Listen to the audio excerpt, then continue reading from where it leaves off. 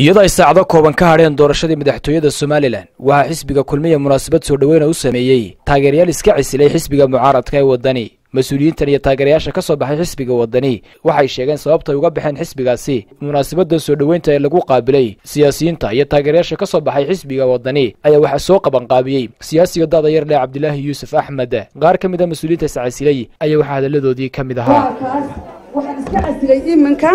xubintii golaha dhexe aan ahaa waxaan iska casilay xubintii kaambeyga gobolka togdheer baan iska casilay waxaan leenahay waxaanu garanay wadadii iyo hogaamiyihii maxaan sheegaye waddanka idhaa u jeexila inuu yahay muuse cabdi muuse biixi cabdi.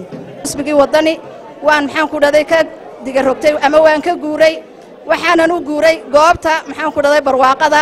Waxaannu go'aansannay in aannu ku soo biiro xusbiga kulmiye anigoo ahaa ninkii qaabilsanaa xaafadda oktoobar qaybta wacyigelinta dhallinyarada. Halkan waxaan ka caddaynayaa inaan xusbigii ka baxay kula biiray xusbiga kulmiye. labiyo toban sanuu xukumayey. Golaha wakiilada labiyo tobankaasna xeer somalilan ay maanta ku dhaqatay kamuu hirgelin walaalanka markaasaan dooran karaynaa misaga ina hoggaamin karayaba? Hoggaan daacadee loo baahan sida muuse biixi cabdi oo kalea waxaan anigu ahaa guddoomiyaha xisbiga waddani ee beereed halkaa aan caawa taaganay xilkii aanu hayey xusbiga waddani waan dhigay waxaan ku biiray xusbiga talada haya ee kulmiye. Cabdilaahi baa naga kor qaaday.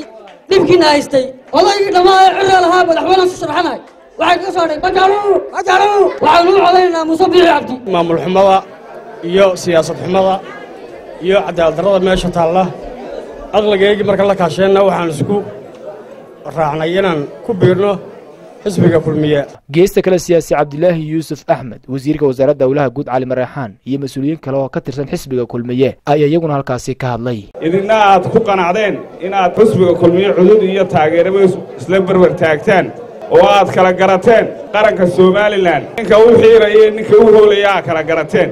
Aad iyo aad baanu idinku mahadnaqaynaa waxaan leenahay soo dhowaada. Hogaamiye iska qoslaya dalkan loo dhiibi maayo. Niman cadhaysan oo siyaasaddoodu tahay muuse biixi rida aan wax xaggaa iyo xaggaa ka xigaatoona aana jirin. Ayuunbaa soo duuduuco yidhi isbeddel odaygii yaraa baarlamaankaanu ku haynay.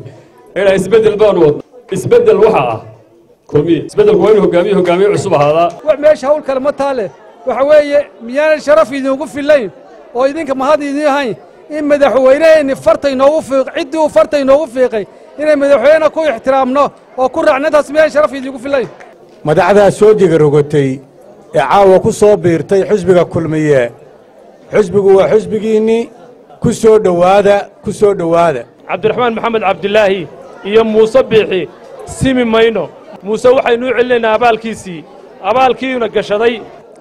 Siyaasi cabdilaahi yuusuf axmed oo ah nin dhallinyaro ah oo firfircoon oo karti badan leh oo ilaa iyo intii kaambeyga lagu jiray aad iyo aad u shaqeeyey oo abaabulka halkanna isagu leh.